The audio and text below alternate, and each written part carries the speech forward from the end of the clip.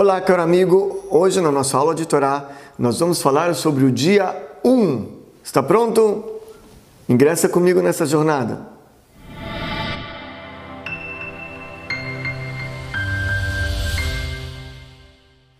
No versículo de hoje, nós vamos estudar, está escrito na Torá, Vai Erev, Vai Boker, Yom Echad.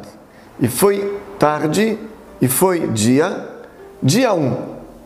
Bom, primeiro nesse versículo o que chama atenção é, em todos os outros dias da criação, está escrito e foi o segundo dia, e foi o terceiro dia, e foi o quarto dia, foi o quinto dia e assim por diante. Aqui a Torá ela muda e não fala foi dia primeiro, mas sim dia um. Por que, que ela muda a linguagem? Então tem uma explicação simples, Urashi traz aqui. Ele fala que é para indicar que nesse dia só tinha um. Quem era esse um? Shema Israel, Hashem Elokeinu, Hashem Echad. Escute Israel, o Eterno é nosso Deus, o Eterno é um. Não existia dois, não existia três, não existia nada mais do que Ele. Somente Ele, somente um. Se falassemos dia primeiro, então tudo, tudo que é primeiro dá conotação que tem o segundo, que tem o terceiro. Mas quando a gente fala um, é um número absoluto. Só existe um. Então a Torá quis frisar esse ponto, que na criação não tem mais nenhum outro fora Deus. Somente um e único, ok? Então esse é o motivo pelo qual a Torá ela muda um pouquinho. Agora, muito interessante também, que diz os comentaristas, que nesse versículo nós, nós aprendemos uma coisa fantástica. Eu li essa semana, eu recebi no celular, tinha uma reportagem na, da CNN ou algum outro jornal, não me lembro agora exatamente, eu não costumo ler jornal, que chegou no meu celular.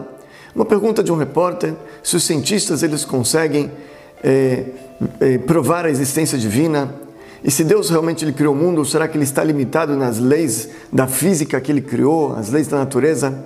Eles perguntam lá, por exemplo, se Deus ele consegue é, viajar mais rápido que a velocidade da luz. Eu achei aquilo muito engraçado mesmo, né? Como é que eles, a, a imagem que eles têm de Deus, de Deus, muito primitiva, parece que estão na idade da pedra ainda, pensando se Deus está limitado na velocidade da luz, ou coisa assim. Eu, eu ri quando eu li aquela reportagem, né? Parece reportagem, se tivesse na idade da pedra, ainda levava consideração, mas hoje em dia a pessoa perguntar isso. No nosso versículo está escrito: foi, dia, foi noite, foi dia, dia 1. Os sábios falam que aquele criou o tempo. Deus ele é atemporal. Deus ele está acima do tempo. Ele não está limitado no tempo. Ele criou o tempo e ele está acima do tempo. Para Deus, passado, presente, futuro, é no mesmo ponto. Ele está acima disso também. Está vendo tudo de cima. Eu vou tentar explicar hoje, elucidar um pouquinho melhor para vocês esse conceito, tá? Antes disso, uma história. Quando eu tinha, um, isso foi em 1999 aproximadamente, eu levei um grupo de moças para passear em Israel, um seminário. E chegando em Israel, a gente teve, entre outras coisas, uma palestra de uma senhora que ela teve uma morte clínica. Ela saiu da academia de ginástica, estava indo para casa, a viga passou embaixo de um, de um prédio em construção, caiu uma viga na cabeça dela, ela morreu.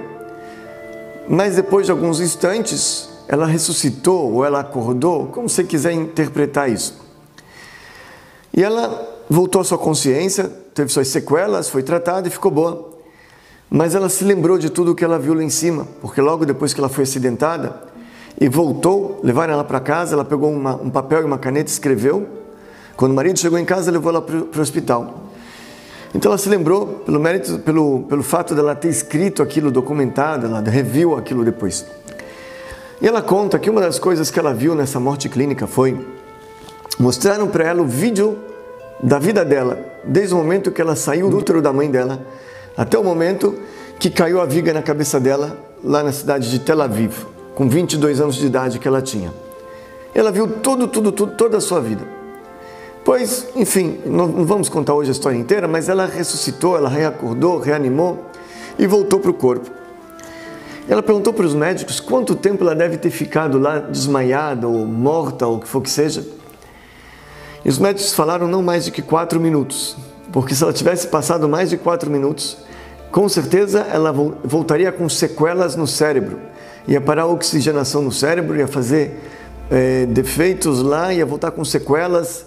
E como ela voltou sem salva inteira, sem, sem é, defeitos, uma pessoa sadia totalmente hoje, normal, sinal que não passou quatro minutos.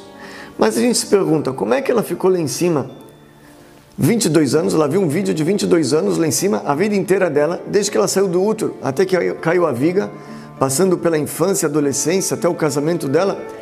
Como ela viu em 22, em menos de 4 minutos, ela viu 22 anos, gente. Então a resposta é o seguinte, está escrito no Salmo 90, que que mil anos aos seus olhos é como o dia de ontem que passou. Mil anos, mil anos, mil, mil dos nossos anos Mil anos nossos é como o dia de ontem, um dia para Deus que passou. Porque o tempo, já falava a Hassidut e a Kabbalah antes do Einstein descobrir isso, o tempo é relativo. Né? Isso, é isso está escrito aqui na Hassidut 300 anos antes do Einstein descobrir isso. O tempo é relativo. O Salmo já falava isso, Salmo 90, que mil anos nossos é um dia de Deus. O tempo é relativo. Mas não porque Deus fica viajando numa velocidade muito alta e o tempo passa mais rápido, não porque lá em cima o tempo é condensado. Deixa eu explicar para vocês, tentar explicar isso melhor. É um conceito profundo, mas nós vamos entender, gente.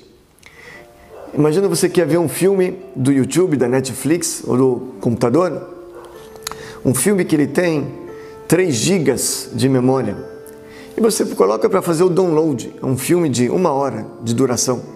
Você dá um download, você fica vendo lá o Google fazendo download, e dentro de um minuto e meio, dois minutos, você tem o vídeo inteiro, o filme inteiro de uma hora no seu computador. Ou seja, essa uma hora desceu para o seu computador em dois minutos, em um minuto. Por quê? Ela desceu de uma forma condensada. Ela desceu numa velocidade muito rápida. Então, aqueles dois minutos, eles têm dentro deles já uma hora, tá? É, se a gente sobe num plano mais profundo dentro do computador, ele está dentro de um ponto dentro da memória RAM dentro de um micromilésimo lá dentro da memória, de um chip, ele está dentro ali do seu celular, ele está condensado de uma coisa, está tudo ali, certo? Demorou dois minutos para entrar no seu computador, mas no plano em cima ele está tudo condensado num ponto só. É a mesma coisa acontece quando nós subimos de nível. Nós estamos no plano físico e material. Se nós subimos para um plano acima espiritual do nosso, lá as coisas passam mais rápido. Lá o tempo é mais veloz. Lá as coisas elas andam de uma forma mais condensada, de forma que em quatro minutos pode passar rapidamente 20 anos. O tempo é condensado. Você vai subindo mais níveis, o tempo é mais condensado ainda. E o tempo é mais condensado ainda cada vez que você sobe. Até o ponto onde mil anos é como o dia de ontem que passou. Assim falam os salmistas. Só que você sobe mais um pouco no mundo de Atzilut, por exemplo, lá tudo se condensa num ponto só. O passado, os seis mil anos de criação, eles convergem num único ponto. E lá, o passado, o presente e o futuro, eles estão no mesmo lugar. Deus, ele está acima disso. Deus, ele criou isso tudo. Deus, ele é atemporal. É um conceito realmente que nós não conhecemos, não temos como entender porque nós somos pessoas limitadas, seres humanos que vivemos somente dentro do tempo e espaço. Porém, Deus, ele é temporal. Ele sempre existiu, ele sempre existirá, ele existe. Hashem Melech, Hashem Malach, Hashem Imloch Leolam Vaed. Deus reinou, Deus reina, Deus reinará para todos sempre. Deus está acima do tempo. Legal, gente? Espero vocês na próxima aula.